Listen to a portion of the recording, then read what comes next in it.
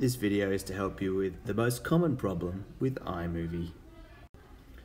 iMovie is a totally awesome app that is found on both the iPad and the Mac. They both work pretty similar, um, but students often come to me with a very similar problem. They say to me, Mr. Lewis, I've got this awesome movie. Can I show it to you? And I'm like, yeah, show it to me. And then they tell me that when they send it to someone, it doesn't work on their iPad. This problem is very common and it's actually quite complicated to explain. I'm going to use this photo of a project to help me explain it. Now, when you're working in iMovie, this is your project pane. All the clips and videos that you've filmed and put in there go in there. All the sound recordings that you make go in there. You might put a soundtrack of some music to go behind it all and some sound effects as well. Now, while it looks like you've made yourself a movie, you actually haven't. You've made yourself a movie project. And that means that all of these videos aren't actually in your movie yet.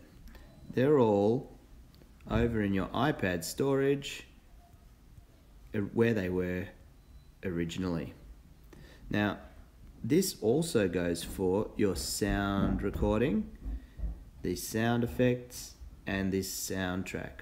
All of these things are saved in separate areas of your iPad. But what's happening is iMovie saying, all right, here's a video that I took. I just want to use that section of the video and I want it to go at the start of my film. And then here's this other video and I just want that section of the video and I want that to go here. Now, here's a long soundtrack and it goes for like five minutes long but you only want three minutes of it so you say just this section of the soundtrack I want it put down here. And I want them to all play at the same time.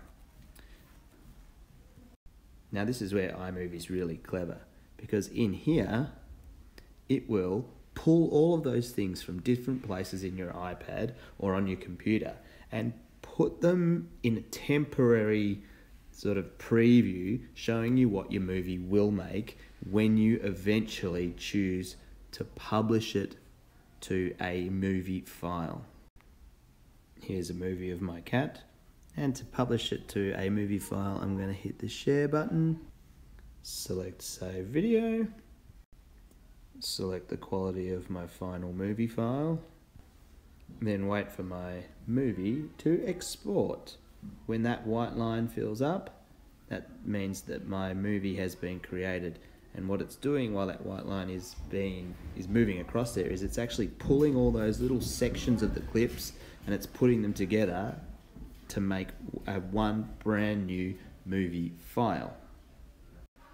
And when it's all done, your movie will have been published to your photo library where you can find your actual movie that you can share and everyone can view.